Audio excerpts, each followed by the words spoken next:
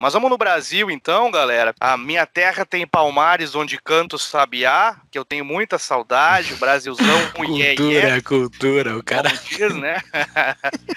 é. Não lembro nenhuma do Mário Quintana, então sou um porto alegrense de Araque, mas tudo bem. Nós temos dados do segundo trimestre da economia brasileira, tá, galera? O decréscimo do PIB foi de menos 9%, entre 9 e 10% negativo do PIB, comparado com o primeiro trimestre que que caiu menos 1%, então a economia brasileira está, esteve indo ladeira abaixo, mas a, a esperança é que o pior já passou. Uh, os analistas concordam, tanto de um dado que eu procurei aqui do Instituto Brasileiro de Economia, quanto do IPEA. Eu sempre busco algo alternativo ao, ao Instituto de Pesquisa Econômica Aplicada, que é o IPEA, que o IPEA é um órgão do Bolsonaro, né? Vamos conversar, é um órgão do governo vai sempre maquiar lá as informações.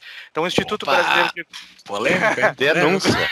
Denúncia. É, denúncia. Tá então, você cancelado, tem cancelamento. Aproveitando que tá, tá nos Estados Unidos, está denunciando a torta direito. A, a, cultura do cancelamento pode me pegar, mas, mas enfim. É, e, e a expectativa é que o PIB brasileiro vá cair em 2020 cerca de 5%, tá? Por que, que a galera tá dizendo que o pior já passou? Porque tem alguns dados aí principalmente da confiança dos consumidores e a confiança dos empresários que mostram que a confiança está retornando. Para vocês terem uma ideia, eu sei que falar de números é um pouco chato, mas no segundo trimestre, a queda na confiança do empresariado e dos consumidores no Brasil, que caiu cerca, sei lá, 60% no primeiro trimestre, lá em abril, no pico da pandemia, já está de volta mais ou menos ao nível em que estava antes. Claro que são índices que servem para dar um termômetro, mas as pessoas parecem, as empresas parecem estar um pouco mais esperançosas. Se vocês quiserem, eu posso compartilhar aqui.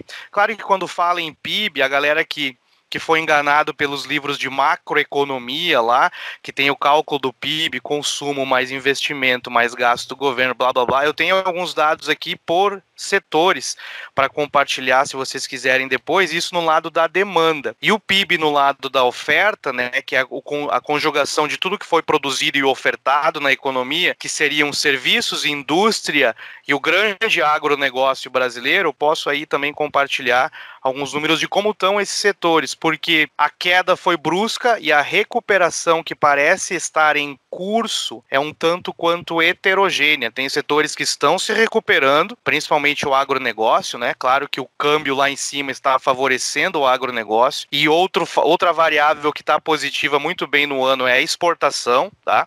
As transações correntes, a diferença entre exportação e importação é positiva no primeiro semestre. Então, o agronegócio é que está puxando. Serviços caiu demais e a indústria, né, o nível de investimento também caiu demais nesse segundo trimestre. Ou seja, a economia brasileira lá em abril chegou no fundo do poço, é o que a galera está falando, e agora parece que devagarinho, que nem alguém que está saindo do pântano econômico da destruição da pandemia, destruição essa causada pelos lockdowns e pelos autoritarismos do governo, parece que a economia está tentando se reativar aí, galera.